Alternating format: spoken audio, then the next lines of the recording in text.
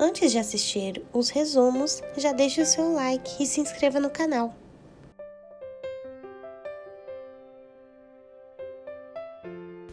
Capítulo 81, terça-feira, 10 de setembro. Mão de Vaca diz que Paulo Roberto pode ser o outro sócio do tráfico.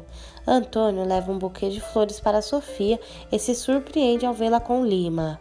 Ela tenta se explicar, mas o taxista diz estar tudo acabado. Pedro diz que seu filho deve parar de investigar o caso e eles discutem.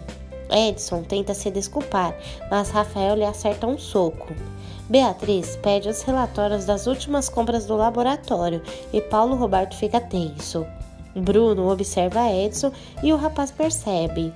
Graça e os outros policiais instalam equipamentos de escuta na República.